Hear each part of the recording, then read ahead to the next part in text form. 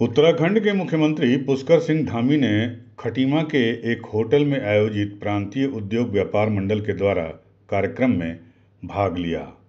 इस मौके पर व्यापार मंडल के पदाधिकारियों और व्यापारियों ने मुख्यमंत्री पुष्कर सिंह धामी का जोरदार स्वागत भी किया।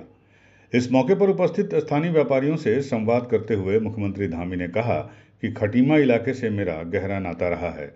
और ये देखकर मुझे खुशी होती है कि खटीमा लगातार विकास की ओर बढ़ रहा है। मुख्यमंत्री धामी ने कहा कि जब जब मैं अपने घर खटीमा आता हूँ तो मुझे एक नई ऊर्जा मिलती है।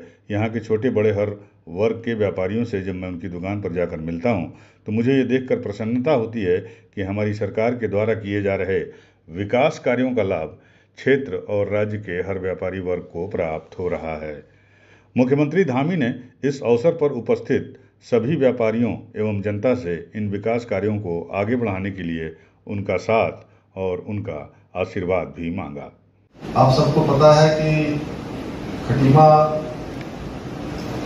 एक आदर्श खटीमा बने। ये मेरा निरंतर प्रयास रहा है।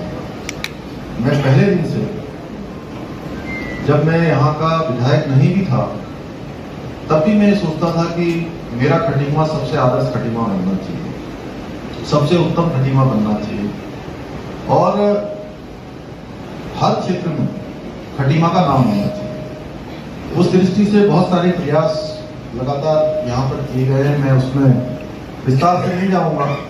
लेकिन मैंने हमेशा कोशिश करी है कि विकास आधारित राजनीति आगे बढ़े। विकास आधारित चीज़ें आगे बढ़नी चाहिए। आपको बता दें कि ये घटना शुक्रवार के शाम की है। उसके बाद शनिवार को मुख्यमंत्री पुष्कर सिंह धामी चंपावत के सीमांत क्षेत्र में रोड शो निकालकर जनता का समर्थन मांगा। मुख्यमंत्री पुष्कर सिंह धामी ने शनिवार देर शाम अपने विधानसभा क्षेत्र चंपावत के सीमांत टनकपुर और बनबसा इलाके में रोड शो करके अल्मोड़ा लोकसभा सीट से भारतीय जनता पार्टी के प्रत्याशी अजय टमटा के लिए प्रचार किया।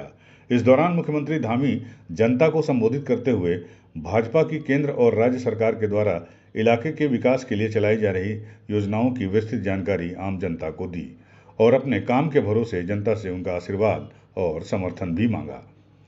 मुख्यमंत्री धामी ने इस दौरान सभी को मोदी जी की ओर से राम राम प्रणाम भी किया। मुख्यमंत्री ने कहा कि प्रधानमंत्री नरेंद्र मोदी उत्तराखंड से विशेष लगाव रखते हैं, जिसके चलते राज्य के विकास के लिए वो कोई कोर कसर बाकी नहीं रहते हैं। आने वाले समय में टनकपुर क्षेत्र को और भी विकसित किया जाने का प्लान है। कैलाश मानसरोवर यात्रा टनकपुर से होकर गुजरेगी। ऐसे में रोज़गार के नए अवसर भी विकसित होंगे, जिसका लाभ स्थानीय युवाओं को और लोगों को मिलेगा। इस विकास के लिए आपका आशीर्वाद और समर्थन बहुत ही ज़रूरी है और हमें पूरा विश्वास है कि उत्तराखंड की सभी पाँच सीटों पर बीजेपी बहुमत के साथ जीतने जा रही है। हमारी है। इसलिए हम सबको सहयोग करना चाहिए और जो चार सौ बार का जो नारा है, उसमें उत्तराखंड से पाँच की पाँच सीटें। बड़े अंतर से यहाँ से जिताकर भेजना है। इतना ही नहीं, अब दूसरी पार्टियाँ सामने दिखाई ही नहीं है।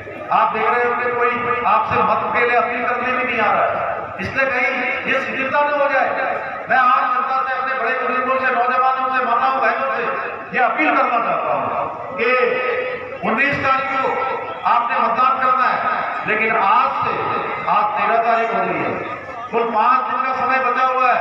पाँच दिन के समय में हम सबको सारे लोगों को पूरे क्षेत्र में जाकर कहना है, सबको जो भी मिले, नातेदार, रिश्तेदार, मित्र, भाई, बंधु, आपस में आस पास पड़ोस के लोग, सबको कहना है कि भाई इस बार मतदान ज़रूर करना है। मतदान का प्रतिशत कम नहीं होना चाहिए। मतदान यूपी न्यूज़ नाइन के लिए खटीमा से अनुज कुमार शर्मा के साथ चंपावत से लक्ष्मण सिंह, बिस्ट की रिपोर्ट।